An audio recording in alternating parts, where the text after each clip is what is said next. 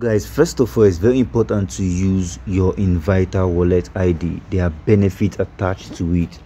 So um, once you have that id you just have to come to your browser and click um, on that particular id over here and paste it. Then it takes you to this page where the um, inviter id is showing. Now it says create wallet id so once you, you you're trying to create your own through this website.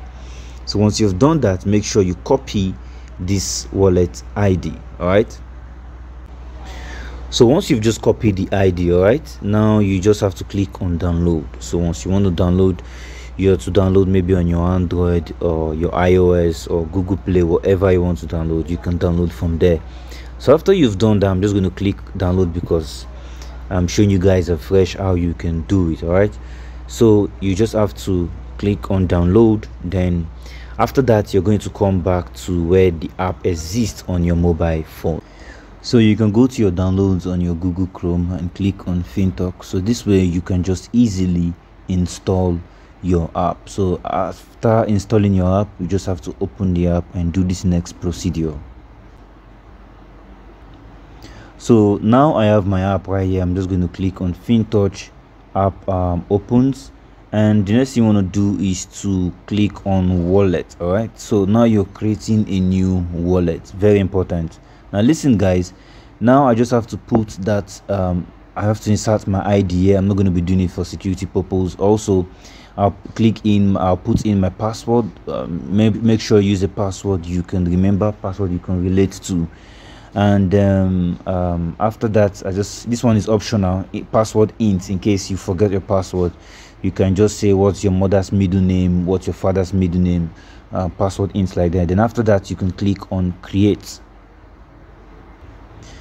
So the good thing about i like about um, um, this particular application is because of it gives you your 12 pass phrase all right so we already know your secret phrase which is your secret 12 words are your key to your wallet. See them as your bank pin. If you give anybody this that person can access your wallet and take all your funds. So make sure it is only known to you. So secure this very well. Why are you securing it? All right make sure you don't over secure it. So i will advise you to write it somewhere. Um, write it like physically on a paper and using a pen. Write this stuff somewhere and keep it all right? Then also you should make sure you um, um, also you can save it on your email you can save it on your notepad but make sure you write it somewhere. It's very very important. So you can see here i just um, finished backing up mine. So it wants you um, to back up all your information.